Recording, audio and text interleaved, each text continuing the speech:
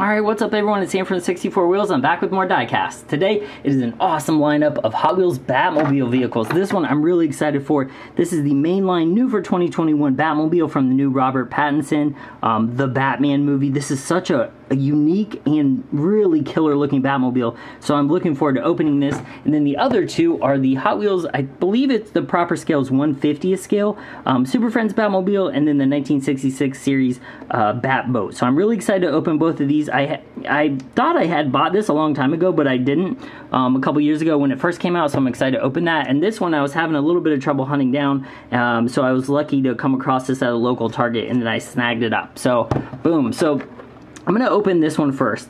This is a really cool looking car. Um, this, I would say this, be, this and the Tumbler are probably the most um, unique takes on a Batmobile we've gotten recently. The others, like the 66 Batmobile, the Batman the Animated Series Batmobile, those look like classic, like comic book Batmobiles almost.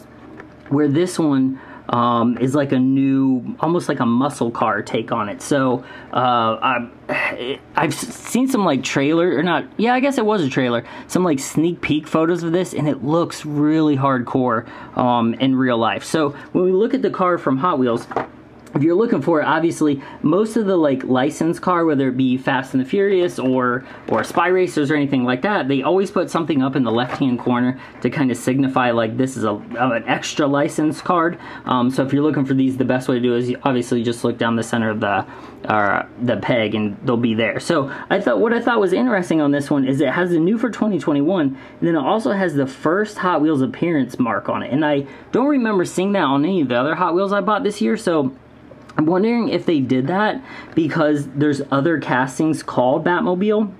So I don't know if they're like signifying this is the uh, like a special like we've never re released this one before. I don't know. I'm not sure why this got an extra um, little bit on the card. So here is the back of it. If you want to pause it and read it, blah, blah, blah. Uh, the designer is Bruce Wayne, which I think is kind of cool. So 2021 Gotham City. Um, real like really awesome. It just like the card art looks great on. So let's go ahead and pop this sucker open. Woo! Nice. Okay, that is awesome. Okay, let me. I'm gonna see if I can bump it up just a touch so you can see a little better. Man, this thing is killer. It's got a lot of detail on it. Um, now, since I haven't seen the movie, and I don't think anyone has, it hasn't come out yet, I don't exactly know all the details on it, so um, we're going to go over them and then see if we're right when the movie comes out. But this thing looks killer. It is a satin black, like a flat gloss black. It looks like it has just like riveted on a huge wide body fender. Um, but to me, this car looks like it's based on a 68 to 70 Charger. Um, you can definitely tell the fastback there, like it has a silhouette of a Charger. And when you look at it, I brought the um, 70 off-road Charger from Fast and the Furious. You can definitely tell right there. You can clearly tell that the roof line is from a Charger. So now the back of it, it's a little different, but you can still see like the window, um, and even the front looks like the wide body. Like it almost looks uh, well, it's not exactly, but it's very close to the width of the um, off-road Charger. And same thing here with the uh, Fast and Furious. This is the Fast 9 Charger that just came out in the um, premium packs. Like, it very similar on the front end. And again, another roof line that looks very similar to a Charger. So, it almost looks like this casting, this part of the casting was used for the back windows too because it's a little different. But, man, it looks cool. So this thing has a lot of detail. So let's take a look at it. It looks like um, either a V8 or a V10, uh, like a larger cylindered engine is sticking out of the back with, I mean, it, it looks like suspension. It's kind of hard to tell. There, the exhaust pipes are sticking out. It has like um, triangle shaped brake lights. It has a third brake light up at the top because even Batman has to have a third brake light, obviously. Um, just a lot of detail. These almost looks like uh, suspension towers that are coming out of the back for suspension travel. Like that's like almost like a Baja truck. Like that's what that reminds me of. Um, the front of it, I don't know what that is because obviously that's the engine in the back, but I don't know what's going down the hood. Probably some crime fighting thing. Yeah, it almost looks like like I could see like pulses or electronic like almost like EMP stuff coming out of there because that's what the vibe it's giving me because it doesn't look like a traditional gun or engine, so something probably pops out of it or it does something.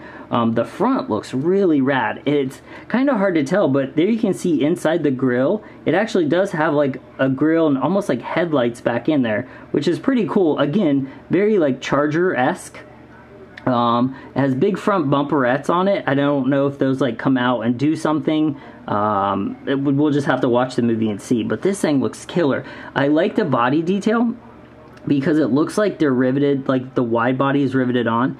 And then you can see there on both sides right there of the top of the hood, those look like modern um, hood pins that a lot of the drift cars have. So they really modernized it. They kind of, to me, it looks like they took a Charger and then turned it into a wide body, like almost like urban assault vehicle. So I do like the wheels they picked for it. These gray, um, like Aerodisc style wheels. I think they look good on it. I don't remember what wheels it has in the trailer, but I think they did a good job picking these for the Hot Wheel at least. So then it looks like on the side, like there's the bottom of it.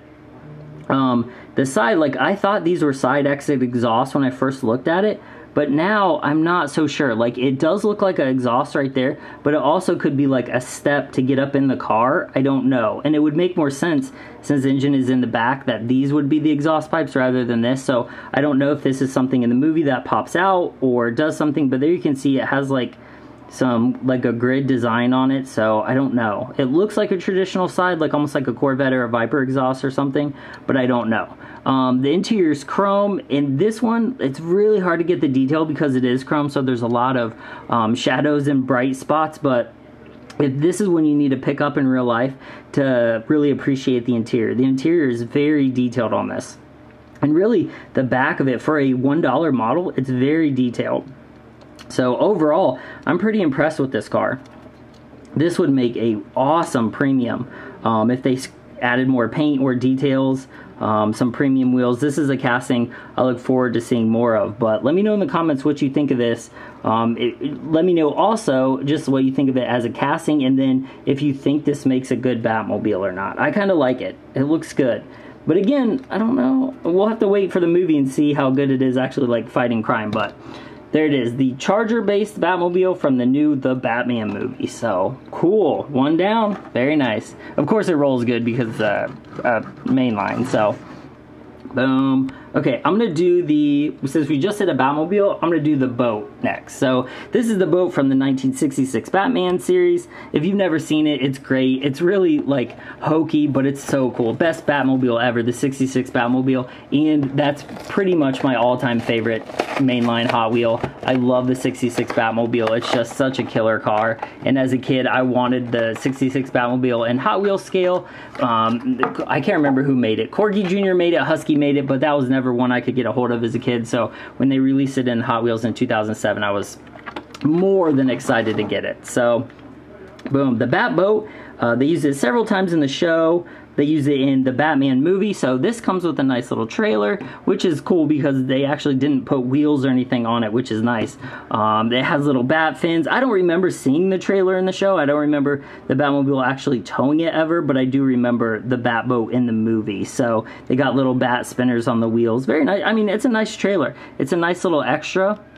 Um, because this has a little less detail than some of the cars, like it doesn't have wheels, obviously. So it's cool that they included the trailer. So, man, I really like this.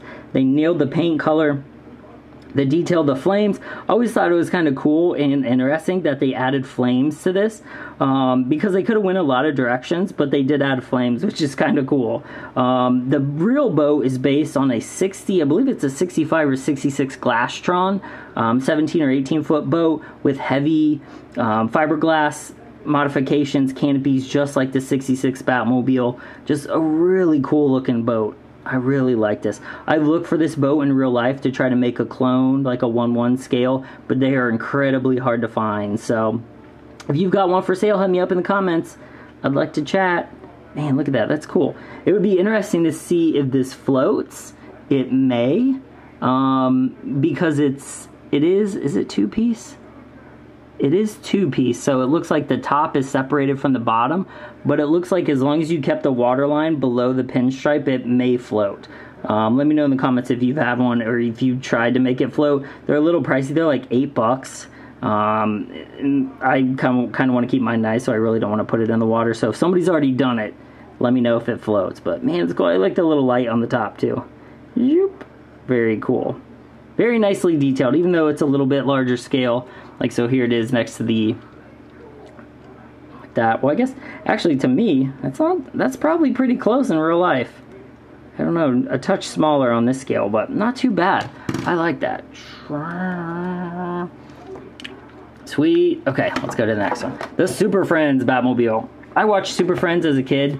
Um, also, it was like reruns, or we'd like rent the video from the video store, and it was the Super Friends, and then there was different Batman ones, like Batman and Scooby Doo. That was one we watched a lot too. So this is a really cool looking car. To me, this one also looks like it was taken from the 66 Batmobile. Just look how angry it looks. Arrgh. Like, it looks like a combination between like the 1940s Batmobile, I think it was, or 30s, and the 66 Batmobile with that kind of look. So, I like this one. I don't think it's been made in any other scale. Eaglemoss might have made this one um, in one, they made it what, 143rd scale?